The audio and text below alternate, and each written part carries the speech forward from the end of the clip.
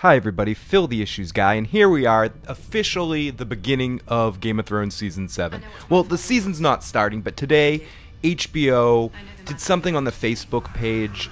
Well, this shows the sheer ridiculosity of the Game of Thrones fandom. Myself included, I was up there, first one in line, that watched a Facebook page watching ice melt. Some silly thing that you had to type in the word fire or some other things in, and it would cause the ice to melt to reveal this teaser trailer you can see in the background of the beginning of the season. So I figured I'd come out here really quick, kind of have a lo-fi recording system if my voice sounds a little bit different, but I just wanted to come out here immediately and just talk about this, just share my excitement. I'm seriously running around in here like a chicken with my head cut off, looking like a fool. I cannot wait. I don't know what to do with myself. I want more. I don't just want this. I want a trailer to be released too.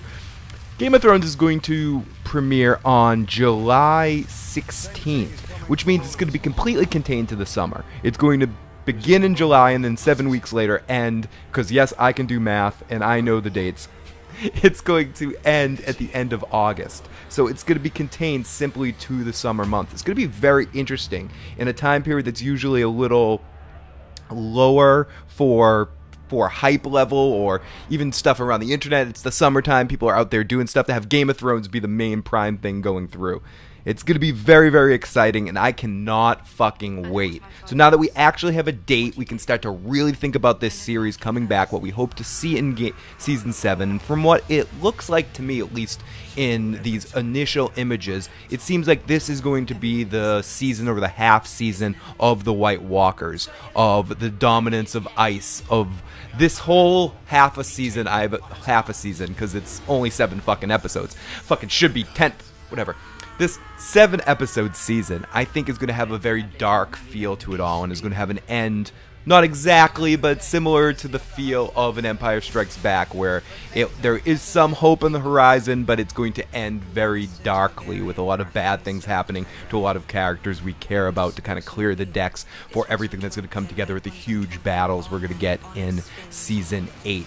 I don't think that means we're not going to get any battles in season 7, but I think it's all going to be foreplay and masturbatory like excitement leading and and anticipations and finishing off storylines and setting up endgame stuff in season 7 i think it's going to be very much a leading in factor. And i can't wait for that. Part of that is knowing that miguel Sapochnik whatever his name is is coming back for 8 and not going to be in 7 so i'm not expecting a huge crazy battle more localized skirmishes of sorts maybe a one big sea battle or something like that whatever it's worth, I am extremely fucking excited. This trailer did what it teaser, excuse me, did what it needed to do.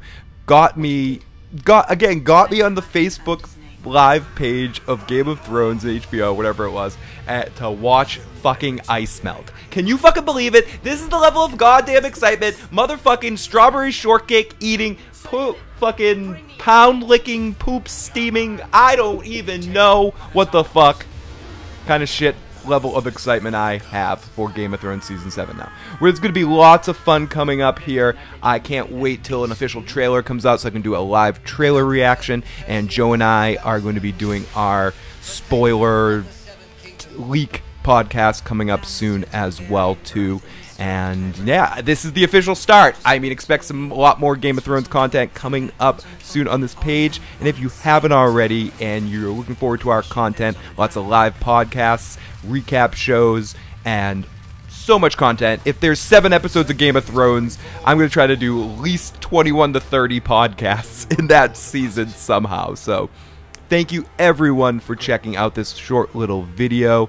And can't wait. We have a date. Now it's just about waiting to get there. Talk to everyone next time. Goodbye.